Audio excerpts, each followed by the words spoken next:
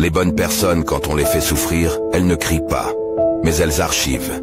Elles s'éloignent sans faire de bruit, pour ne plus jamais faire marche arrière. Elles continuent d'être bien, mais sans faire confiance. Et c'est à ce moment précis qu'elles ont fini avec vous. Elles ne s'appuieront plus sur vous. Elles ne vous feront plus confiance. Elles continueront d'être elles-mêmes, avec ce cœur grand ouvert. Mais elles fermeront la porte à ceux qui les ont blessées. Parce qu'elles ont compris la valeur de leur bien-être et de leur paix intérieure. Ne les sous-estimez pas. Leur silence n'est pas une soumission, mais une déclaration. Une déclaration qu'elles méritent mieux, qu'elles ne se contenteront pas de moins. Si vous les perdez à cause de vos actions, c'est une perte que vous regretterez. Parce qu'une fois qu'elles ont décidé de s'éloigner, c'est définitif. Elles ne reviendront pas en arrière.